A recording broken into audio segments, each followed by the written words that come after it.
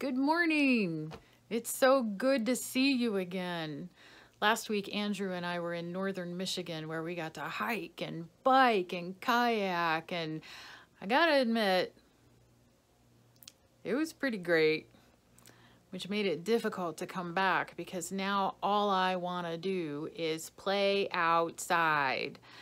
So I was thrilled when I opened up the lectionary and saw that for the next several weeks, we get to walk outside with Jesus and listen to him tell us about the work and the love of God in a series of parables in the Gospel of Matthew.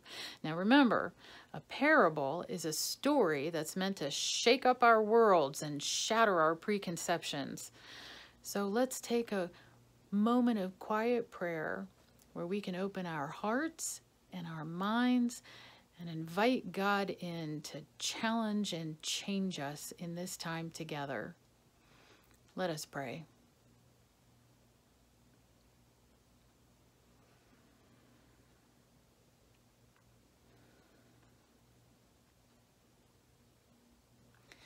Gracious and holy God, we thank you that whether we're inside or outside, you are always here with us.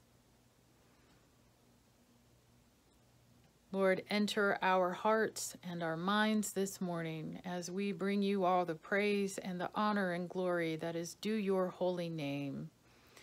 Challenge us and change us, that we might become the people you have created and called us to be in this time and place. And all this we pray in the name of your Son, our Savior, Jesus Christ. Amen.